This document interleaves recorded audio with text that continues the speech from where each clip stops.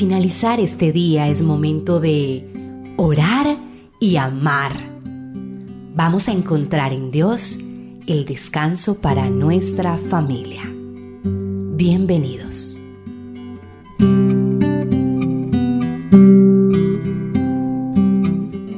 En esta noche, al final de este día, en este día de descanso, te invito a hacerte una pregunta.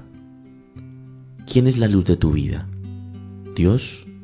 ¿O las pequeñas lámparas, los pequeños bombillos cotidianos y quizás finitos que te encuentras en la cotidianidad? ¿Es Dios tu luz eterna o te fijas solamente en las luces transitorias y pasajeras que te vas encontrando?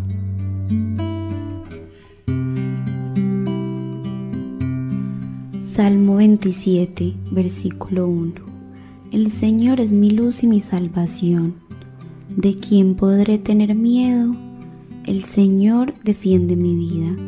¿A quién habré de temer?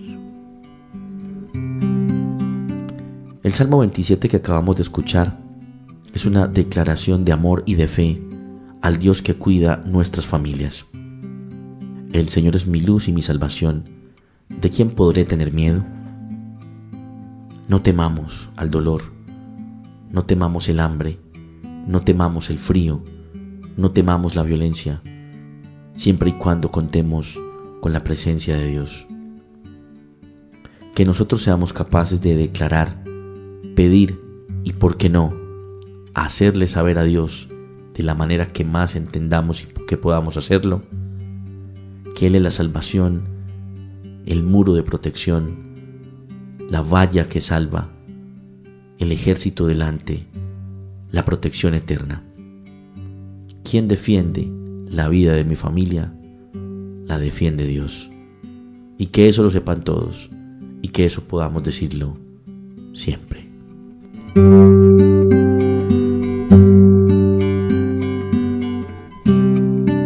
Oremos juntos y pongamos en las manos de Dios el descanso para nuestra familia.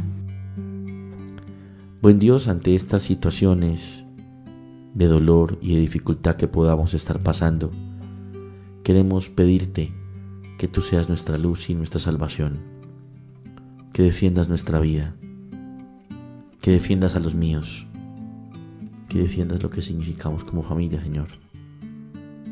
Si estamos bien, pues con el deseo de mejorar y de avanzar.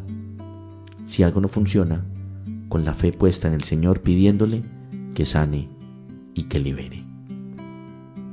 Que con la misma inocencia de un niño podamos encontrar en nuestro Padre Dios confianza, sustento y esperanza. Recemos todos juntos.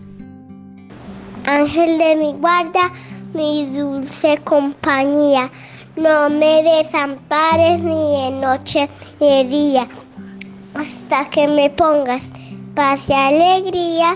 Todos santos Jesús, José y María. Amén.